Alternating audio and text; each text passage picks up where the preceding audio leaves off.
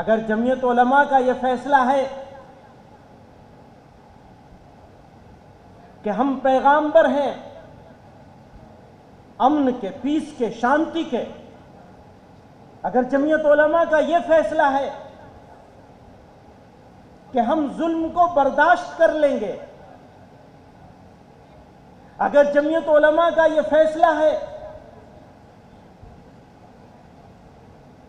कि हम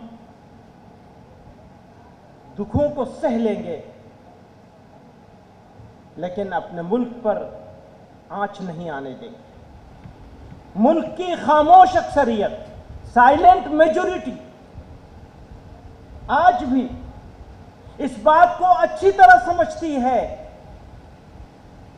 कि नफरत के बाज़ार में, नफरत का बाज़ार सजाने वाले, नफरतों की दुकान खोलने वाले लोग मुल्क दुश्मन और गद्दार हैं।